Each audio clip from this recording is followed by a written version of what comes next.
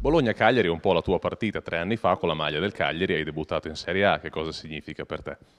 Sì, sono ancora, sono ancora molto legato a quella città, ho molti amici ancora lì, e molti ex compagni di squadra che giocano lì. È una partita particolare, come ho detto, sono ancora molto legato a quella, a quella città, a quell'ambiente. I primi passi anche di un giovanissimo Don Sa con te a Cagliari, ti aspettavi che sarebbe diventato il centrocampista che ora è? Sì, sì, già, già tre anni fa si vedeva che aveva delle grosse qualità fisiche, anche che poteva diventare molto, un giocatore molto importante.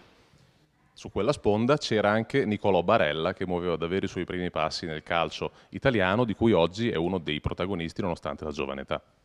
Sì, anche lui era, il primo anno di, di, Serie A, ha fatto molto bene già dall'inizio e anche lui come, come Don Save si vedeva che aveva molte qualità che poteva, poteva diventare un giocatore molto importante.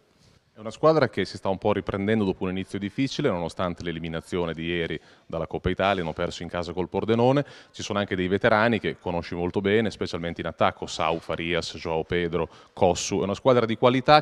Sì, all'inizio ha faticato un po', da quando c'è stato il cambio di allenatore ha ritrovato un po' diciamo, quello che il loro spirito, il loro modo di giocare e sono tornati ad essere una, una grande squadra molto difficile da affrontare.